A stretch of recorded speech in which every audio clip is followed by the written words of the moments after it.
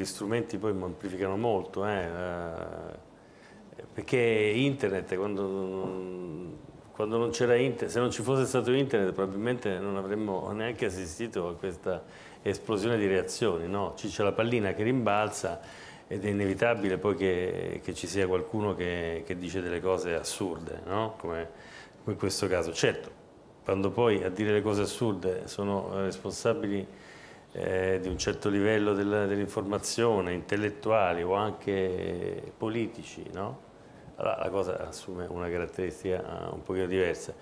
Io però cioè, vorrei anche diciamo, un attimo riportare sulla terra questa vicenda, perché questa vicenda qua è una vicenda che dire, eh, si, è, si, è, fatta tutta una, si, è, si, è un, cioè, si sono attribuiti dei significati a questa storia che probabilmente non ha, non ha perché la storia del lavoro perso e poi no, la, no, infatti, la, reazione eccetera. questo era un signore da quello che ho letto sui giornali che si giocava eh, al videopoker eh, i soldi che dovevano servire a mantenere la famiglia per cui dico, che, che E questa è una cosa, mi pare, totalmente insomma, assurda, no? se vogliamo.